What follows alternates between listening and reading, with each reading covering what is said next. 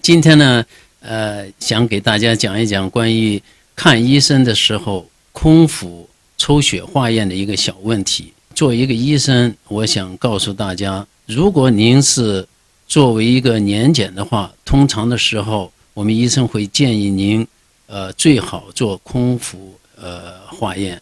这个时候呢，因为是空腹，那么它对您的血糖和三酸甘油酯的影响不太大。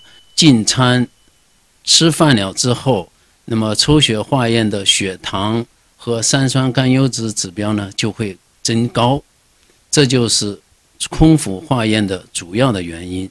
呃，也就是说，如果不是空腹化验的话呢，啊，那么您的血糖和三酸甘油酯的指标呢就会受到影响。这尤其是对那些有糖尿病的人。或者是操心有糖尿病的人，呃，会有很大的呃意义。那么至于三酸甘油酯，呃，这个这个东西呢，我想在这里做一下简单的介绍。三酸甘油酯是属于血脂的一部分。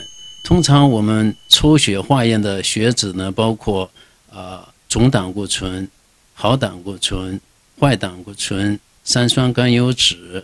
啊，这几种指标，那么胆固醇和三酸甘油酯，严格来讲呢，是根本都是一个不同的概念。那么往往呢，因为这两种指标都混在一起检查，我们通常呢叫血脂，所以说呢，大家有时候就有点呃不太理解。